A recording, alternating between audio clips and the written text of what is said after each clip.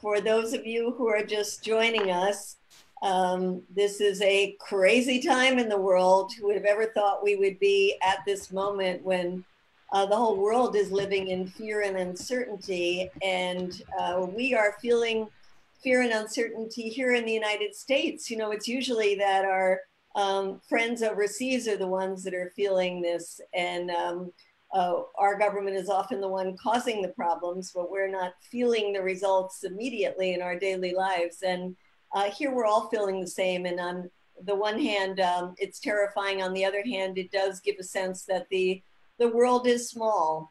And because of that, talking about Iran and what the Iranians are suffering right now is so important to do.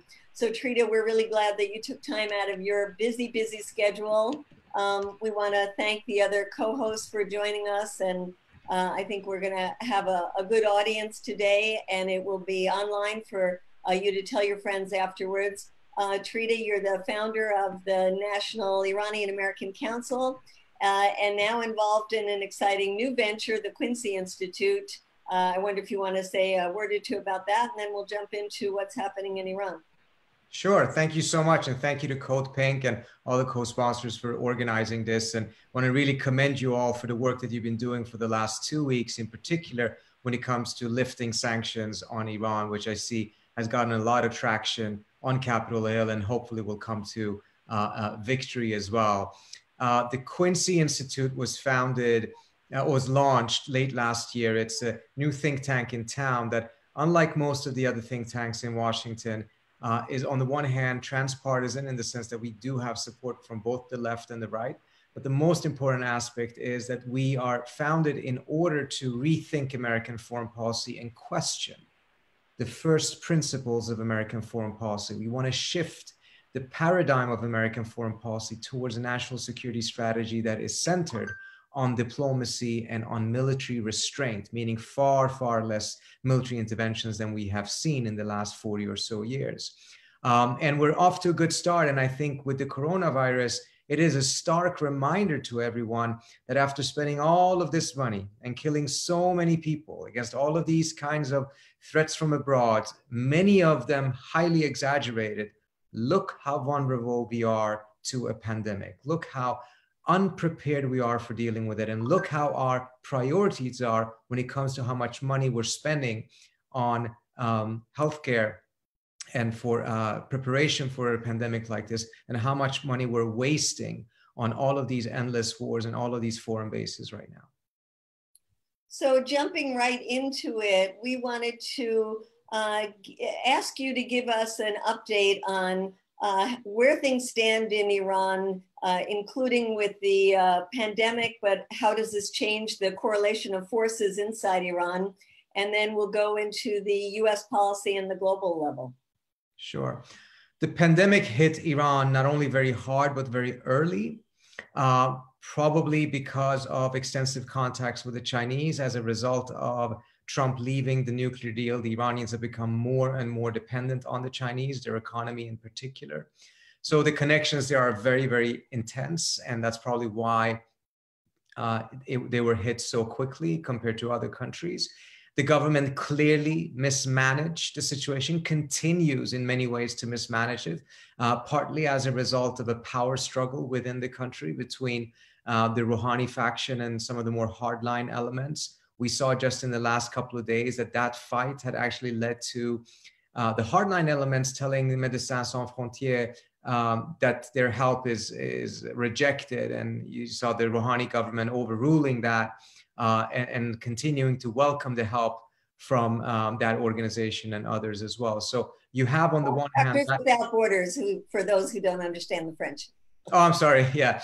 Um, and um, uh, we see, you know, the continuation of how um, lack of preparedness, lack of taking it seriously. We see some parallels between what the Iranians did and what happened in this country, in the sense that the Iranians were notified that there's something happening. It's not entirely clear how well they understood the situation, but they decided to go forward with the parliamentary elections anyways, fearing that otherwise um, uh, it would be a propaganda um, uh, point for the West, or particularly for the Trump administration, if they had to postpone it. And we saw the same thing happening here in the United States with the DNC going forward with some of the primaries in the midst of, of this pandemic. Uh, so, on the one hand, they've handled it very poorly, and you have a very large number of cases, probably a very large undercounting of the cases, as well as the undercounting of the deaths. Um, there's a lot of anecdotal evidence that many deaths that are corona related have been categorized differently, perhaps in order to push down the statistics. So, um, how uh, able was the uh, healthcare system in Iran uh, to deal with people's needs before this happened? Well, under normal circumstances, their healthcare system is is uh, not um, in a bad shape. Actually, it's quite good in many aspects. But as a result of the sanctions from the United States for the last couple of years, which have been immense, just to give you uh, a bit of statistics, before Trump left the nuclear deal, the Iranians were exporting roughly 2.2 million barrels of oil a day um, and that was um, uh, one of the main, if not the main, source of income for the state. It is, after all, an oil country. As a result of the sanctions, the first round of it, when Trump re- uh, refused to renew waivers for several different countries, this dropped down to 1.1 million barrels. Now, as a result of him essentially not renewing any waivers at all, the Iranians are most likely not exporting more than 260,000 barrels a day, which means a more than or roughly 90% reduction in the main export of that country. Now, imagine how that then spreads throughout the country and how that impacts the entire economy. You cannot do something like this and say, well, this will only affect uh, their military budget or this will only affect the regime but not the population. That is just pure uh, nonsense. It is preposterous. There is no case in history in which uh, a, downturn of eco- economy or pressure of economy of this kind has happened that has not affected not only everyone but primarily the weaker elements in society. And then you add to that the recent oil wars between the Saudis and Russia that has made the price of oil plummet. Uh, and so they're getting even less than they were before that. Certainly, and the budget of the country was based on a $50 uh, per barrel oil. Now it's below that, and the Iranians are probably offering discounts in order to get anything sold, mindful of the risks that entails with buying oil from Iran, uh, mindful of the additional expenses for shipping and, and insurance that is taking place, again, as a result of sanctions. Uh, now, the administration, of course, claims that, hey, but you know, medical equipment is not sanctioned, and as a result, this is nonsense. The Iranians are lying about this.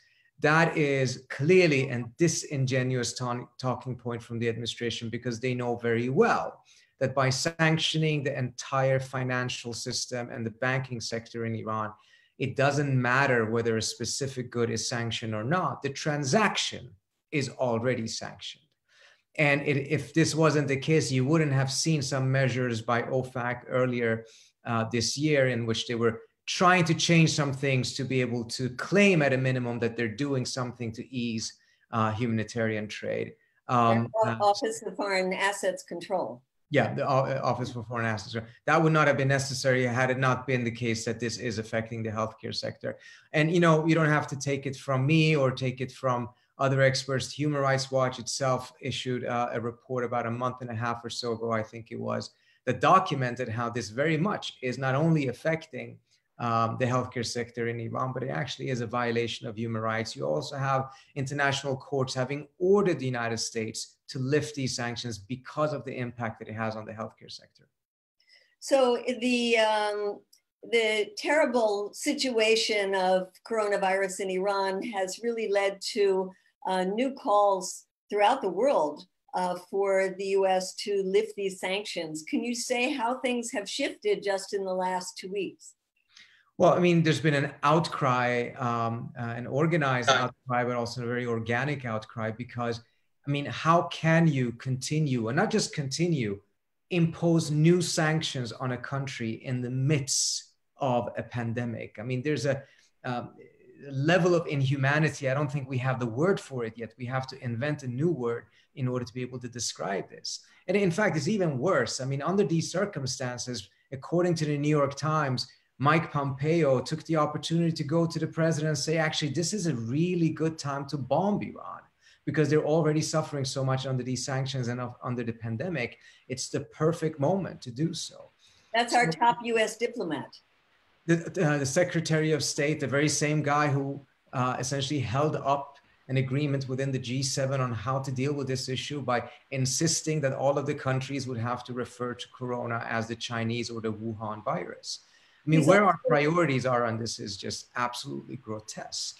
Isn't he the same one who also wanted the US to hit back harder against the Iraqi militias that are aligned with Iran, uh, again, at this time of the coronavirus? Yes, indeed. Uh, I mean, there's been several occasions in the last 12 months in which a question has been, you know, an issue has come up to the table of the desk of the president and the question has been whether he would take military action or not. In each and every one of those instances, Mike Pompeo counseled war instead of other measures. And I think in many different ways, because of the presence of Bolton, at least up until a couple of months ago, a lot of attention was taken away of away from the very equal, if not worse, hawkish sentiments and instincts of Pompeo because he could just hide behind Bolton. Bolton had that ability of just saying the most ridiculous things publicly and, and getting all the attention to go to him. But in reality, based on the record, it does not seem as if Pompeo in any way, shape, or form is better. In many ways, he may actually be worse. So, is it actually the Pentagon that is a more moderating force in terms of any kind of military action? In that specific case and in earlier cases that appears to have been the case but we still have to take it um, with a grain of salt in the sense that yes i don't think there's a lot of folks in the pentagon who wants to have war but that is not the only issue and this goes into the work that we're doing at quincy. It is not as if the pentagon is pushing back against the idea that the united states needs to dominate the world militarily and particularly when it comes to dominating the Middle East militarily, taking the side of the Saudis on many of these different issues. Because that approach, in and of itself, constantly puts the United States on the verge of war, not just with Iran, but with other countries. It's a very aggressive foreign policy. So, as long as that policy still has more of a consensus within the government, the fact that some of these elements at the last moment counsel against war, which is obviously good, but it's not good enough we need to fundamentally review our foreign policy so that we're not constantly in this position in which the question of war keeps on coming up. Now, in terms of the uh, crux of the supposed crux of the issue around the nuclear deal, um, you wrote a piece that said this might be a time when hardliners in Iran are saying, uh, let's go for the bomb. Can you explain uh, your analysis there? So I, I, published a piece over the weekend that pointed out that uh, there's some significant changes taking place in Iran. I mean, the hardliners are on the rise. Trump has completely humiliated those in Iran who argued in favor of diplomacy with the United States, who argued in favor of some form of reconciliation and modus vivendi between the US and Iran, who saw the nuclear deal as just the beginning of a larger process in which other issues between the two countries would be dealt with as well diplomatically uh, with the aim of coming to a, a resolution. Um, they've been all proven wrong, essentially, in the eyes of most Iranians right now, because the nuclear deal has not delivered in any way, shape, or form for them. In fact, Iran is under more sanctions now than it was before it signed the nuclear deal. Iran is under more sanctions now when it is abiding by a nuclear deal than when it was accused of having violated the NPT. It is as bizarre of a situation as you can imagine. So, under those circumstances, the argument of the hardliners that you know the mistake of the Rouhani government was that they actually believed that a deal with the United States could be struck and that you could trust the US to implement it you know, hardliners warned already during the debate of the nuclear deal that the US is going to betray this agreement and stab Iran in the back. And in the eyes of many, it seems like that argument, that line has been vindicated. Now, these forces are now rising in Iran. We saw what happened in the parliamentary elections. It's likely going to repeat itself in the, in the presidential elections in Iran next year. Meaning the hardliners getting the upper hand. They're going to get the upper hand and probably win the presidency as well. And uh, the likelihood is that they're going to be pursuing a much, much more hawkish line than what the Rouhani government has pursued. I mean, they're still sticking to the nuclear deal. They're trying to see if the Europeans can uh, come in and aid them. Um, and in that circumstance, there's also now uh, rumors and murmurs that the debate and the conversation inside the regime itself has changed in the sense that the argument in favor of leaving the NPT or building a bomb was a very, very, very small minority within the regime. And this is corroborated by US intelligence, European intelligence, even Israeli intelligence, who all agree the Iranians never made a political decision to build the bomb. Um, and certainly leaving the NPT would be a massive step, but also dashing for a bomb would be a massive step as well. And I've not seen any indications that earlier on they had the intent or the desire to go in that direction. Now it appears that things may be changing. That the conclusion for the Iranians are that if they only had the bomb, or if they at least left the NPT and used that as leverage, they might be in a more similar situation as with the North Koreans. And we've seen how Trump is treating the North Koreans compared to the Iranians. Um, and the danger here is this Pompeo thinks that uh, the coronavirus is making Iran very, very weak and in disarray. And I think he's actually correct in that it is making Iran much weaker. But the coronavirus is a sword that cuts both ways because at the end of the day, it's also spreading global chaos. And it may actually also provide the Iranians with opportunities that they earlier on did not desire nor need.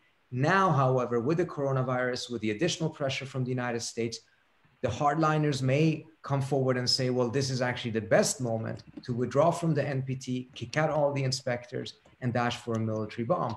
What is the United States going to do? It's going to be dealing with its own coronavirus, its own elections, the international community doesn't have an appetite for a, uh, a conflict with Iran under these circumstances. And as a result, see this as a, a small opportunity within a larger crisis. This is very dangerous in my view. I think it would be very bad if the Iranians got a nuclear bomb. It would be very bad to see further um, proliferation of nuclear weapons. And none of this would be happening had it not been for Trump doing this huge, huge disfavor to US national security by pulling out of the nuclear deal and starting to wage economic warfare against Iran. Well, I'm glad you uh, went back to that because it's so important for people to understand that this is a manufactured crisis and also how much it's affecting next door in Iraq.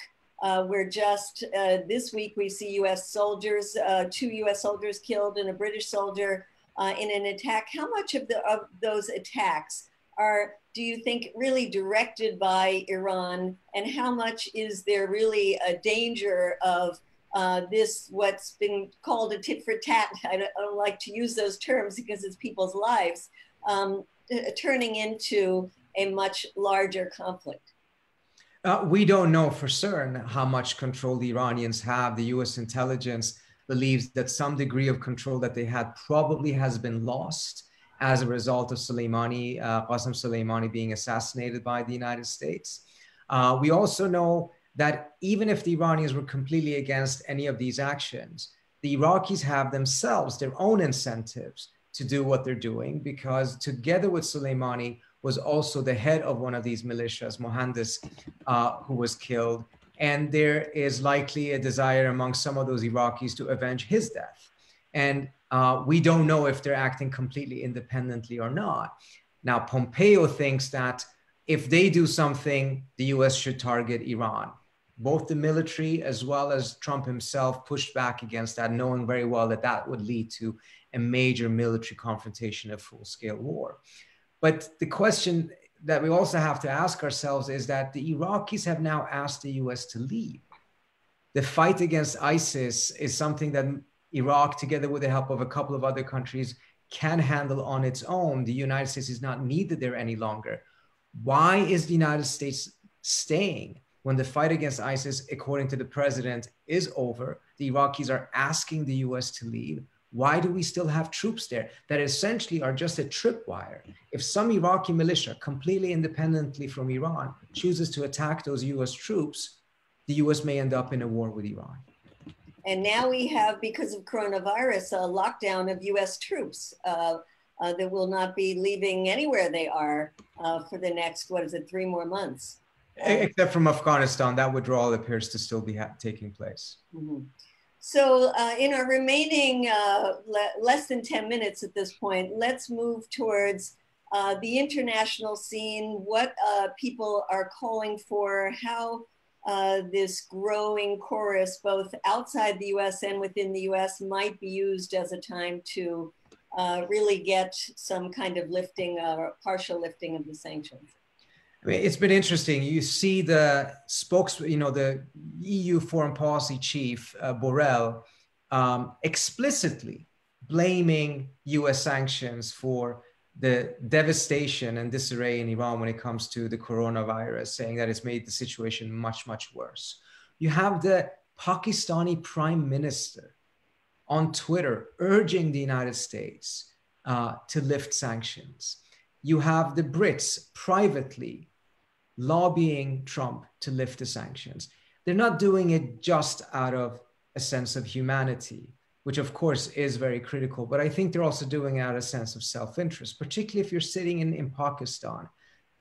You're not going to be safe if the coronavirus can fester in Iran. In fact, if the virus can fester anywhere, it will be a threat to everywhere. That is the reality of these pandemics and these uh, viruses. So, as a result, seeing the United States and the Trump administration imposing more sanctions in the midst of the pandemic is something that is not just seen as inhumane by a lot of countries, including close US allies, but is also something that is seen as a danger to themselves. So, there are, um, because of the uh, lack of revenues that the Iranian government has, and because of these uh, new needs now uh, to fight this pandemic, they have gone to the IMF and asked for a loan of $5 billion. Can you say where that stands now? And uh, can the US actually veto that? The US can veto that. They've signaled that they're going to veto that. And that's also something that the Europeans have pushed back against.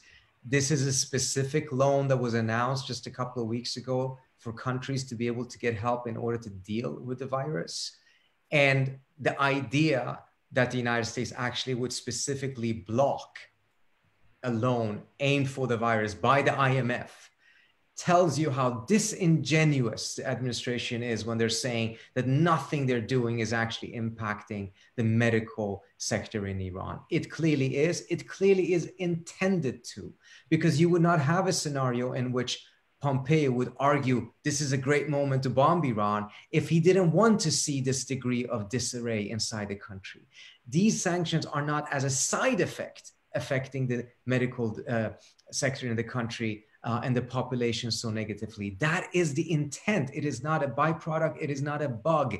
This is what always happens and what is the intent of broad scale sanctions. In fact, the theory behind it is that once the population as a whole is under that amount of pressure, they will pressure their government to change the policies in order to get rid of those sanctions. That's the entire thinking behind the very idea of sanctions. So, uh, just to play out that scenario, uh, there are people in the US government that are always saying the government of Iran is about to topple, about to topple. Now there are those who say uh, this is just uh, going to uh, force an explosion in Iran. Uh, if indeed the government were to topple at this point in time, what would happen? Well, I mean, that's the other thing that is kind of interesting. We don't have a lot of cases in history in which sanctions, as a result of economic warfare, get toppled or, or collapse. But I do believe that that is part of the intent behind this, that they are not so much looking for regime change as they're looking for regime collapse meaning the US doesn't have any responsibility for what comes afterwards, which means that it can just wash its hands and then see the chaos in Iran essentially consume that country. And this is the idea of it before the pandemic. Post pandemic, obviously, the situation is a hundred times worse. And this is part of the fear that a lot of pro democracy uh, defenders and activists in Iran have that as much as they are opposed to the government, they're opposed to the repression of the government, the mismanagement and the corruption of the government, seeing the country's state um, and central authority completely collapse will only lead to chaos. And democracy does not tend to come out of chaos. Uh, in fact, it rarely comes out of chaos. And as a result, under these circumstances, where you clearly need a central authority in order to be able to uh, make sure that the pandemic is defeated and that the, core, uh, the virus is uh, isolated and contained. And we can make a parallel to the United States, which uh, has uh, a tradition of having a lot of this authority be delegated to the states and, and more local services. We see how uh, chaotic that is compared to a South Korea that has a very strong state and I can impose a statewide response very quickly. Well, if you don't have a state at all, imagine what will happen then. So that brings us back to what uh, can we do in the U.S. and uh, there are uh, some letters. Uh, there, there's some movement within Congress. Not much, not enough. But can you say what is happening and what can we do? I think what several of these organizations, Code Pink, NIAC, and uh, others have done is absolutely fantastic. The leadership shown by AOC, Bernie, Ilhan Omar, and others, and taking the lead on this is absolutely needed. This is not going to be a quick fight. The the pressure here has to keep on building up. If it wasn't effective, you would not have had editorial uh, pages on the Wall Street Journal and others arguing, please don't lift the sanctions even for a pandemic. They're only writing this because they do understand that what is happening right now and the continuation of the sanctions and the efforts by these different groups and lawmakers is really uh, undermining the support for this ridiculous and inhumane sanctions policy at this point. My hope is also that this will really wake us up, not just in the case of Iran or Venezuela or others, but also for us to really rethink this idea of sanctions. It has been presented, and oftentimes on Capitol Hill, you see that a lot of folks, a lot of folks that are on the right side of most issues, I would say, still have a tendency of viewing economic sanctions as an alternative to war. But it's important to understand that economic sanctions, particularly broad based economic sanctions, actually are war. They're not an alternative to war. And the academic literature also shows that they oftentimes lead to military war afterwards. So uh, after we say goodbye to you, Trita, Ariel is going to stay on for a while with those who can stay with us just to talk a bit more about what we can do. Uh, but before you leave us, uh, is there anything else that we haven't covered that you would like to uh, say? Uh, I would just like to thank Code Pink and all of your supporters and all of the grassroots that are following your work and engaging in your work, the mobilization you all have done in favor of uh, lifting these sanctions and making sure that our response to the coronavirus in Iran and elsewhere is not just going to avoid putting civilian populations there under threat, but also make sure that it doesn't do anything that puts the United States itself under threat uh, or US personnel that are around the region very close to these different places. So thank you so much for all of that. Thank you. And I just want to, you know, we had a tremendous response to uh, your coming on. We have other groups like uh, Pax Christi, Peace Action, co-hosting Metro D, uh, DC for the Democratic Socialists of America, Popular Resistance, World Without War. Uh, and uh, we all thank you for uh, the work that you're doing and uh, we look forward to continuing to work with you and uh, figuring out ways that we can put enough pressure on our government uh, to stop these sanctions and move back to where we were under the last administration, uh, which is uh, into a normal relationship with Iran so that people inside Iran can determine what kind of government they want. Thank you so much for all you do. Thank you. Thank you so much. Thank you. So Ariel, you have been doing a lot of work in the last couple of weeks, well, last years, and you've been to Iran recently. Um, so maybe you can uh, follow up with what you heard from Trita, anything you want to add, uh, as well as uh, what is the work that is being done? What can people do? What are you watching or listening to in the chats or questions that you might want to let everybody know about? Well, it's been devastating to watch what's happening in Iran right now with the coronavirus after having been there recently and met people there and to say I worry, you know, daily about people's safety and the medical care because of the sanctions. Even before these sanctions, many life-saving medicines were being blocked from the country. It is heartening to see right now voices from around the world, countries and organizations, even the New York Times today, calling for sanctions to be lifted. And this is fairly new. We've been working on this and struggling against this. So, one of the exciting things right now is that many of the people watching and with us here on Zoom right now have likely been emailing Congress both recently and for a year and more, asking for Congress to speak out, to do things to get these sanctions lifted. And there has been a response. A number of members of Congress, Alexandria Ocasio Cortez, Bernie Sanders, Ayanna Pressley, Ilhan Omar, Elizabeth Warren, and others have released a letter to the White House calling for the sanctions to be lifted. And if you go to our website, codepink.org, and I'm also going to show that page, then you can contact your member of Congress and ask them to add their names to this. Well, I'm trying to go to that page, but that looks like it isn't happening. So um, that's fine.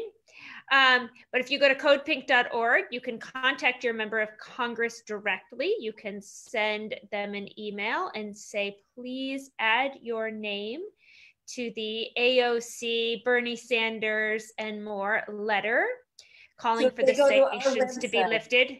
Uh-huh. Codepink.org. You'll see it right on the top of our website at codepink.org. And you can also, after you sign that, it will direct you to a petition that is uh, over 11,000 signatures right now to the World Health Organization and to the Secretary General of the United Nations, asking them to speak out and call for these sanctions to be lifted. This is so urgent. So uh, that is an action that um, is important to take. And the other thing, if you're watching and not signed up to our website, um, we'll put out future actions. I also recommend people uh, go to the National Iranian American Council and sign up for theirs, uh, as well as a number of groups that are the co-hosts. And we uh, listed the co-hosts for today in the chat box if you want to see that and all of them have been doing work on this issue uh, and are great groups to be part of. Uh, it's um, pretty amazing how many groups are getting into gear doing this uh, in-house kind of education and organizing. And in lieu of being together, usually Code Pink, we would be working right out of the uh, Rayburn Cafeteria in Congress right now. So uh, as we're doing this virtual education and lobbying, uh, we hope you'll stay in touch with us. And before we close this out, Ariel, is there anything else you wanted to add? Well, I wanted to say that people are also calling the Treasury Department and that we encourage you to do that. You can look up their number because I don't have it at my fingertips, but I encourage you to call the Treasury Department and ask them to lift the sanctions. And I see that Medea is pulling up that number for us right now. I know Medea well, and I know how quickly she does that. And so maybe as we're ending this call, before we end it, we can have everybody type that number into their phone, but not yet push uh, dial until we get off, and then they can call the Treasury Department and ask them to lift those sanctions. This is such a time for our world to be coming together and in the midst of this horror uh, watching this worldwide, there are these silver linings that we see how important it is for us to come together as one world.